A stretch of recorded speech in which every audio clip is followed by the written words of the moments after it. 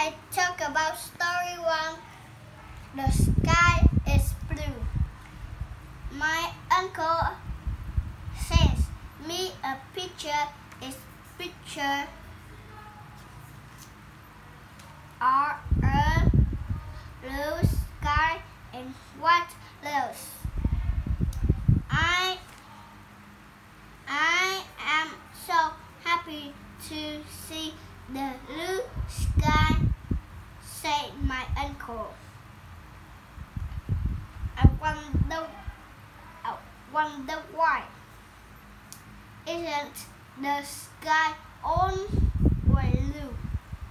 No, he said the sky in my city is open white because there are too many cars.